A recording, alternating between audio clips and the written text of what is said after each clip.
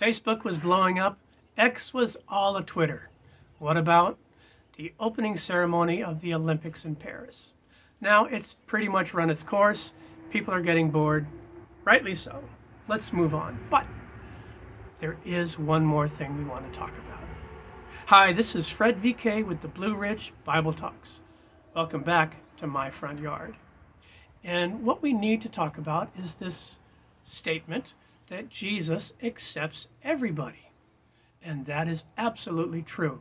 He accepts us who we are, where we are, what we're like, what we're doing, what we think. That's where he starts. What else does he have to work with? But you see, the whole life of faith in Jesus Christ, it begins with a realization that our ways aren't his ways, and his ways are the way. Today, I want to talk about a pattern that shows up throughout the New Testament, and that is repentance, forgiveness, transformation. You have to have all of those. And we see it from the very beginning, from the preaching of John the Baptist. He was preaching, Repent, for the kingdom of heaven is at hand.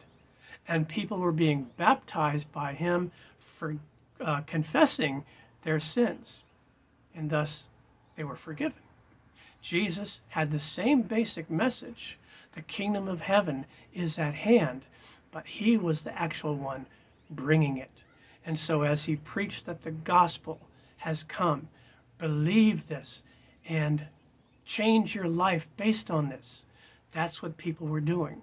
So, yes, he ate with tax collectors and sinners and all kinds of loose people. And they were entering the kingdom of God ahead of the Pharisees, the religious leaders who didn't want to listen to Jesus. People were transformed. He talked to the woman at the well in Samaria, and he confronted her with her lifestyle, and it changed her. She went off and proclaimed that, I think I found the Messiah, and brought these people back, and Jesus stayed with this group of Samaritans for a few days. I wonder what they talked about. We see it in the very famous story of the woman caught in adultery. Where's the man? Anyway, it was a setup. Hey, Jesus, we caught this woman in adultery right in the very act. Moses says, kill her. What do you say? Trap. If he says, kill her, then they could say, look, he's not a merciful person. He is just as bloodthirsty as anybody else. If he says, show her mercy, they would say, aha, here is someone who just flaunts the law of Moses, doesn't agree with it, has his own way. What does he say? Whichever view is without sin, let you be the ones to cast the first stone. And they all split. And then it's just the woman and Jesus. Woman, where are your accusers? Well, they're all gone. Well, neither do I accuse you. But he says, one more thing. Go and sin no more. That is the transformation part. She put her faith in him, we can assume.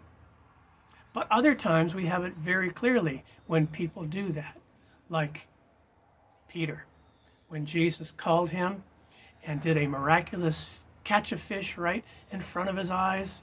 Peter says, Get away from me, Lord. I'm a sinful man. Boy, that's broaching on to repentance. And Peter says, I'm sorry, Jesus says, Cheer up. From now on, I will make you fishers of men. Speaking to all the disciples at that point. And that's what he did. He transformed the rough hewn fisherman and a, a tax collector and um, others and transformed them into his apostles, bearing his message. Now, when Jesus died, rose again, ascended to heaven, seated at God's right hand, he poured forth the Holy Spirit. And I'm talking here about the day of Pentecost in Acts chapter 2. And Peter stands up after this miraculous, mighty rushing wind and people speaking in tongues. What is this all about? Well, let me tell you. This is all about, now here's the short form Jesus has taken his place on the throne of God and has poured this out. Oh, by the way, this Jesus whom you crucified. Acts chapter 2. Pick it up in verse 36. Therefore, let all Israel be assured of this God has made this Jesus, whom you crucified, both Lord and Messiah. And when the people heard this, they were cut to the heart and said to Peter and other apostles, Brothers, what must we do? You see, they've come to believe the truth of what Peter just said. So Peter says, Repent and be baptized, every one of you, in the name of Jesus Christ, for the forgiveness of your sins. Repent. Forgiveness. And you will receive the gift of the Holy Spirit. Transformation. Now, let me just go to one more verse, and this one is going to raise some hackles, but so be it. It is the truth of God. Now, this gospel message goes forth, goes out into the Gentile world, and now the Apostle Paul is writing to the believers in Corinth.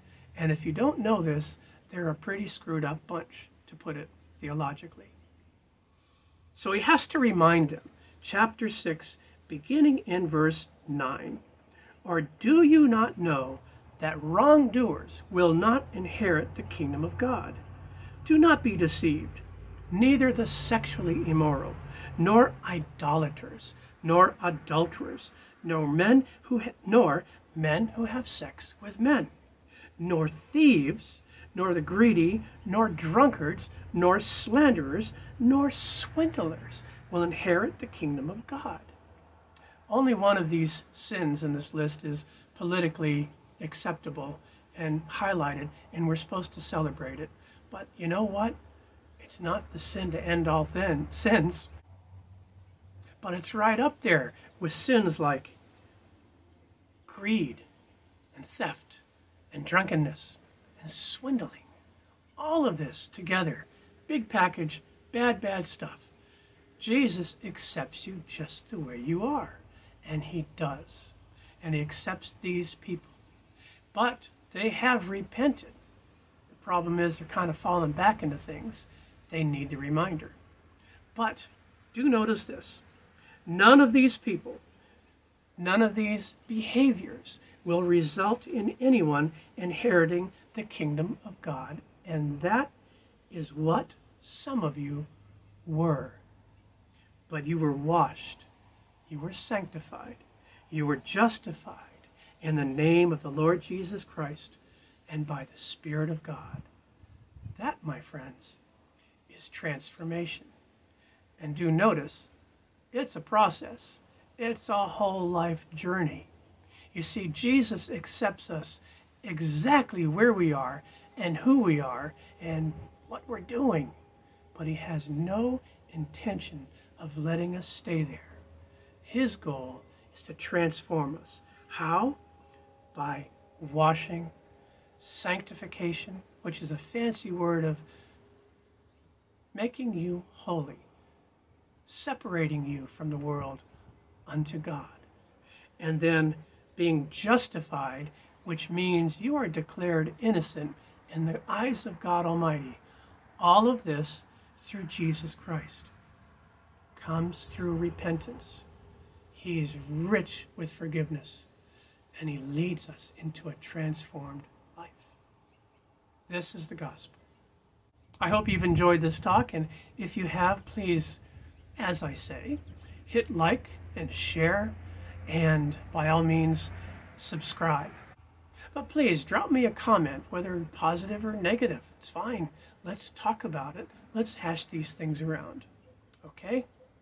God bless you.